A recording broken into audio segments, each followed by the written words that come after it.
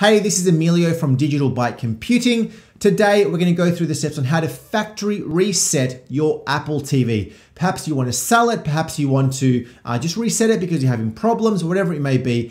Today, we're going to go through the steps on how to do that. Very, very easy. But before we do that, please subscribe, clicking on the notification bell to be kept up to date with all of my videos. Let's go through those steps right now.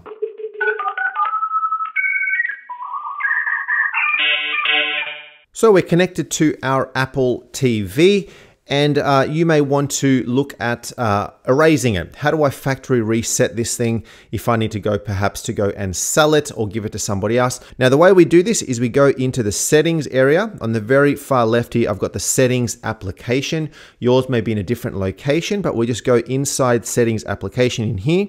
And from here, we're going to select system. So we're going to scroll down to system right there. And then down the very bottom, you've got reset. So this is under maintenance, you've got reset. So we're going to select reset from here.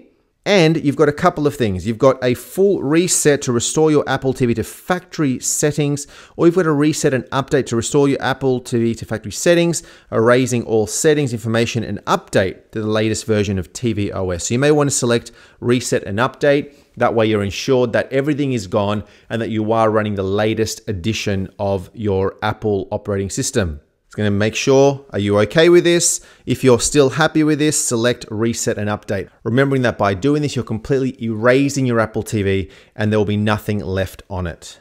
So before it does do that, it will check for the latest update from the internet and will download the latest update so that it's ready to be installed once it is reset and factory restored. So after some time, your Apple TV will reboot after the updates have been downloaded and installed. It's rebooted a couple of times. You're now presented with this setup screen essentially, uh, and it is now ready to go. So you can now turn off the Apple TV and unplug it and do what you need to do, or you can reconfigure the Apple TV if you wanted to factory reset to fix an issue, for example. So there you have it. Hopefully you were successful in resetting your Apple TV and that your either your problems have gone away or that you've been able to sell it or give it to somebody, whatever your scenario may be. If you were successful, please let me know in the comments below, like this video, and most importantly, subscribe to my channel, Digital Byte Computing, clicking on the notification bell to keep up to date with all of my video releases. Thanks again for watching. We'll see you next time.